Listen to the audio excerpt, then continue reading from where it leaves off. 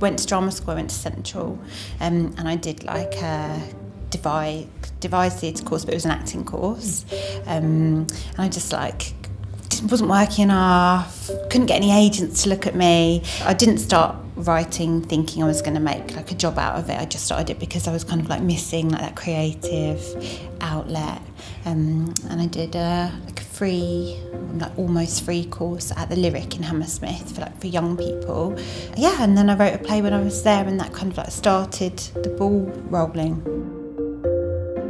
like a mess, like a big disastrous mess, basically. like lots of like angst. I think I normally start write like I'll start writing a scene and then the idea will come out of that rather than like I'm gonna write about X, Y, or Z, and then and then starting that. I normally start with like characters and kind of like listening to their voices, um, and then their story sort of grows out of that. Although I'm told that's not a very good way to write.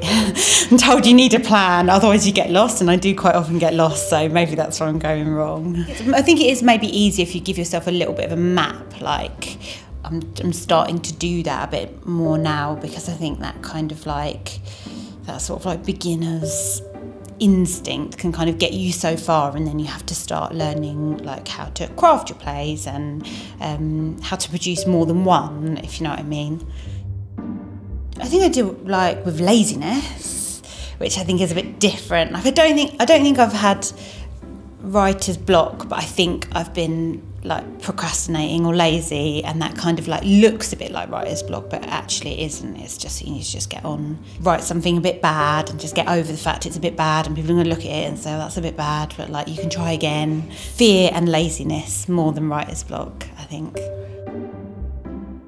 I suppose like kind of write the stuff you'd want to see. I, th- I, think that's like something I have to remind myself sometimes. Like, would I enjoy watching this? Because if I'm not going to, then I can't expect other people to sit through it. Be kind to yourself and just getting it out and getting something down, which can be really hard. And then later on, you know, if you're in your previews and people are getting bored, it's because it's a bit boring. like, so cut a bit out.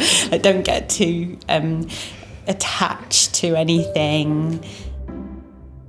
I don't think you have to have experienced something yourself because I suppose that makes it quite like limiting for what you would be allowed to write about. Something you can like feel like you can relate to in some way even if you haven't experienced it yourself or like I'm always like stealing from people around me like stealing stories and stealing moments from people's lives my friends my family like it's lots of stealing. I think there's like this nice image of like a writer sitting on their own and like farting out a play and then being like oh you know there it is. Um, but actually definitely um, on on the kind of like TV side of things, but also in theatre, like it, you do get a lot of help. The actors and the director, like they like I use them so much. Like the poor things are like doing improvisations. We go home, write something that night, bring it in.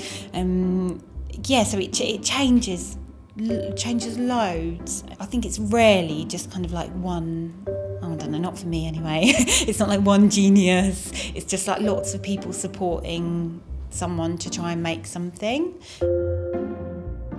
I suppose it's different for everyone, but for me, I'd much rather be with someone for six weeks and that is maybe even like not quite as brilliant as maybe some other person. If they're really hard work, it's just like, I suppose it's where you put your values, isn't it? Like, life will always be more important, like the day to day living of, of a thing. For Roundabout, like they they're together. It's only three actors. They're together for a really long time.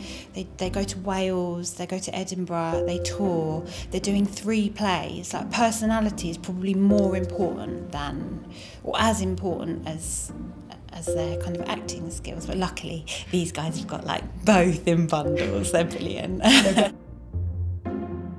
I wish I could be one of those people. So I don't read my reviews. Like now, I just like sit and refresh my computer for a day. And I'm quite. I'm like, I haven't really. I've had one. I've had that experience once, and it's really terrifying. You know, if you start reading them, you start placing a lot of importance on them. So then when someone says something good, you're like, oh, I'm really good. And someone says something bad, you're like, oh, it's really bad. And actually, you have to be like a bit zen about it and just be like, this is the work I'm doing. This is where I'm at on my kind of little journey.